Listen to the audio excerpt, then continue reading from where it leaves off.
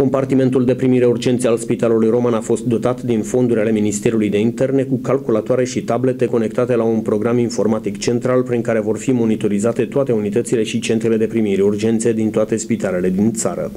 Noi am primit adresa de la Ministerul Afacerilor Interne, Departamentul de Situații de Urgență. Dumnealor uh, au trimis reprezentanții, au montat calculatoarele, au dat... Poftim? Și motivat de ce toate datele astea trebuie să ajungă la nivel Uh, noi, uh, deci cei din uh, CPU, la 12 ore tot timpul trimiteau datele. Uh, vor ca toate datele să trimis, fie trimise în timp real, tocmai pentru a ști exact ce probleme sunt la nivel național, eventual unde este un accident colectiv, un accident uh, cu multe victime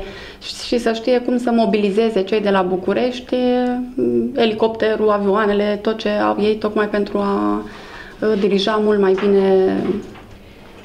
Medicii de la Centrul de Primire Urgențe al Spitalului Municipal de Urgențe Roman atrag atenția pacienților că trebuie să fie înțelegători pentru început cu cei care lucrează pe calculator până când aceștia vor căpăta deprinderi de lucru pe aceste mijloace moderne de comunicare. Registrarea pacienților în format electronic, astfel încât va dispărea scrisul efectiv, foaia de observație a pacientului, înregistrarea și tot ce facem noi ca și investigații, ca și constatări,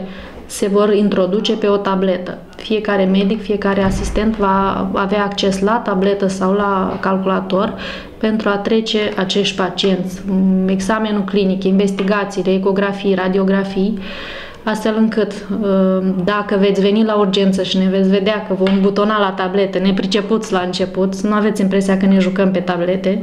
ci încercăm să facem ceea ce făceam acum pe foaie, lucru care deja se face în străinătate. Responsabilii cu problemele de urgență au încredere că, prin monitorizarea tuturor cazurilor care se prezintă în aceste compartimente, se vor reduce substanțial riscurile de pierderi de vieți omenești, dar și de îmbolnăviri din cauza infecțiilor nosocomiale din spitale.